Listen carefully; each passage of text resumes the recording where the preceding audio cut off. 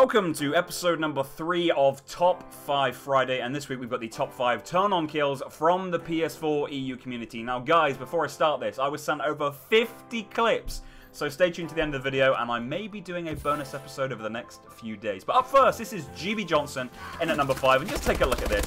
Absolutely wrecks that poor kid on Terrace S&D, but obviously the kill cam is coming now, and just look at that accuracy from GB Johnson, and for the love of God, I have no idea how this kid didn't kill you, GB Johnson, but fair play for the accuracy you showed. Absolutely beautiful.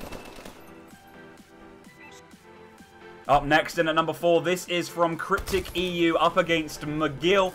Just have a look at this. No, McGill! McGill, how the hell did you not kill Cryptick EU from the distance that you guys were at, and you enabled him to just mm. absolutely destroy you? I'm not going to talk about it much longer. You know that you done fucked up.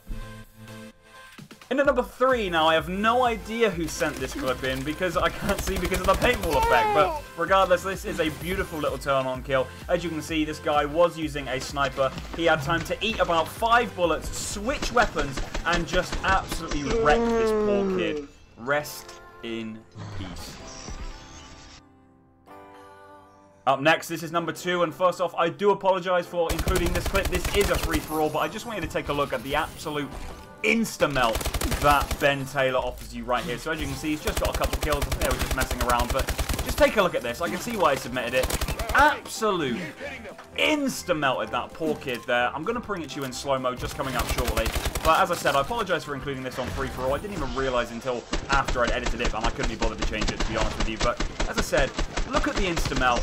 And just honestly, just what is wrong with this game? You just look at this. My God.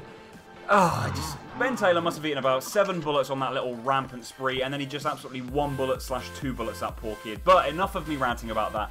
This is number one, and I just love this clip. This is from Invictus Luke. He 180, absolutely wrecks this kid, despite the fact the kid's on that fire head glitch. Absolutely bummed. What am I gonna say, absolutely bummed this kid. Invictus Luke, take a bow.